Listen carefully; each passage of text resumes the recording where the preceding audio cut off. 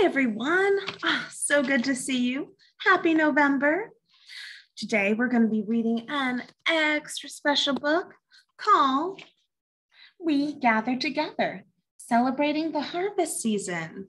Ooh. It's going to be a very, uh, a very interesting, very informative. That means has a lot of information that book.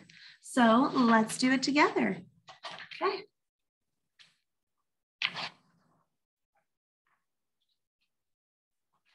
We go. During early autumn in the northern part of the earth, chipmunks pack their cheeks full of seeds to store in underground burrows. Red fox pups hunt for rodents and fruit to eat, then bury leftovers to dig up when food is scarce. Beavers store twigs and sticks underwater to chew when ice covers their pond.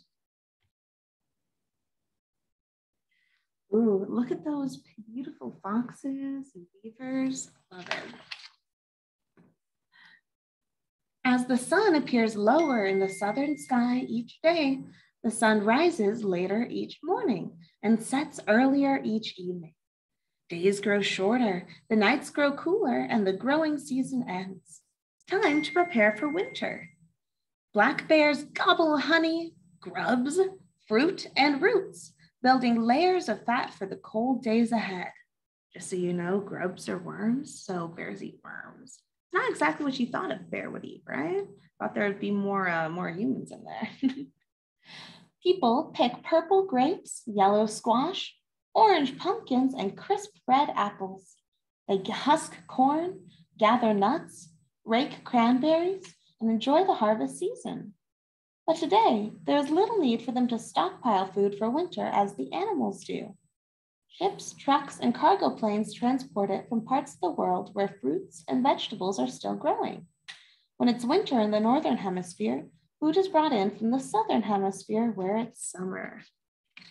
That's pretty cool, huh? Ooh, so this is a picture of how the earth moves around the sun and the different amounts of darkness we get during the year. Pretty cool, huh? Yeah. Okay. Different seasons are caused by the tilt of the earth as it moves around the sun. When the northern part of the earth tilts toward the sun, the north gets lots of sunshine and it's summer there. When the northern part of the earth tilts away from the sun, north gets less sunshine and it's winter. Between summer and winter, around September 21st, the sun crosses the equator and shines equally on both sides, on both the northern and southern parts of the earth.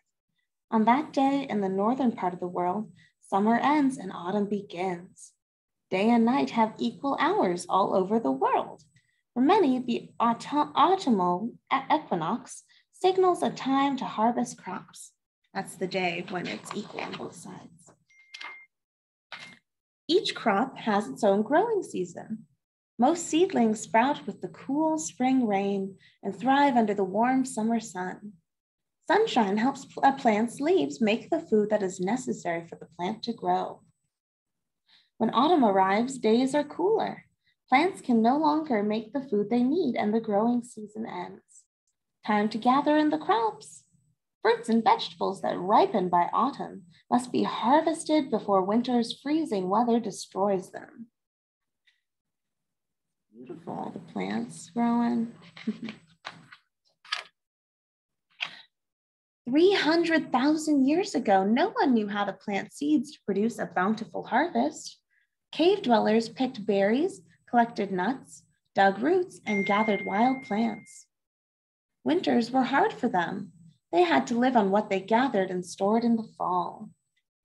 Well, they look kind of like us, though, right? 300,000 years ago. About 10,000 years ago, where Syria and Turkey are today, tribes learned to grow wheat and barley from seeds. How exciting it must have been to plant one seed and produce a stalk with many. Wow. 8,000 years ago in Egypt, people discovered the warm climate was perfect for farming. The Nile River provided water, and once each year, its floodwaters deposited rich, black, fertile soil on both sides. Plants grew in abundance. Beautiful. and really cool, that's where all of our farming comes from. Gradually, farming spread to Asia. About 5,000 years ago, people grew food in a crescent-shaped area where Iraq is now. The Tigris River and, the, and small streams that fed it turned valleys into a fertile crescent of rich farmlands. Oh, goodness. Each autumn in many lands, men, women, and children worked all day and even at night under the light of the bright harvest moon. They cut rice, threshed wheat, and gathered bundles of barley. A good harvest meant plenty of food to eat in the fall and more to store for days when food was scarce. Time to rejoice and have fun after the hard, back-breaking work. Over the centuries, people celebrated plentiful harvests and passed down traditions at different times, in different places, and in different ways. All over the world, harvest celebrations from the past are still being carried on today.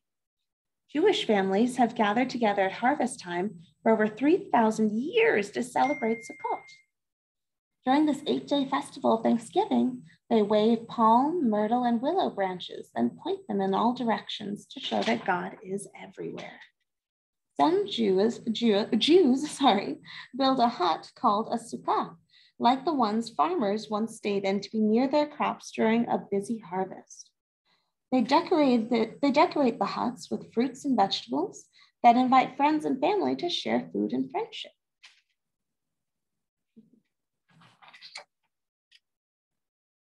People in southern India have celebrated Pongal, a four-day rice festival, for over 2,000 years. On the first day, they decorate their front doors with rice flour designs and give thanks to the rain gods. On the second day, they cook pongal, a sweet rice pudding, and offer some to the sun god. On the third day, they honor their cattle to thank them for pulling the plows. The fourth day, family and friends gather on riverbanks dance and enjoy a bountiful feast, including, of course, freshly harvested rice. The people of Japan have held rice festivals for about 2,000 years. In spring, girls dressed in kimonos plant rice while musicians play bells, drums, and flutes. In summer, they hold a lantern festival to express their joy as the rice ripens. When the fall comes, they celebrate the rice harvest with parades and a dragon dance. During their moon viewing ceremony, people sing while watching shadows of, on the full moon. Many think the shadows show a rabbit making rice cakes rabbit making rice cakes. I love that. For over 700 years, Nigerians have held a fall festival to give thanks for yams, the first crop harvested. On the night, on the night before the festivities begin, the old wrinkled yams are thrown out. The next day, new yams are offered to the gods and ancestors in appreciation of a successful harvest. Dancers wear raffias skirts, and masks that portray turtles, lizards, trees, and the sun or moon to celebrate a cycle of nature. Hundreds of years ago, the English believed that the spirit of their wheat lived in the last bundle they cut. In each field, they twisted it into the shape of a doll. Since they called, the, called wheat corn, these dolls were, are, were named corn dollies. They were hung in barns or churches during the winter then plowed back into the earth in the spring to ensure a good harvest in autumn. People still make corn dollies just for fun.